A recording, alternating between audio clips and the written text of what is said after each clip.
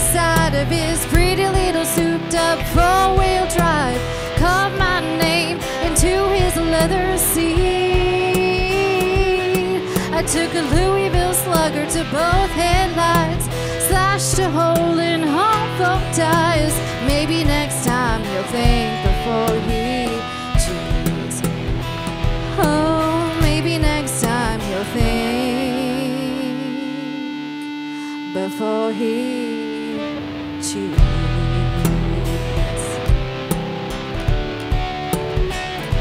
Before he cheats.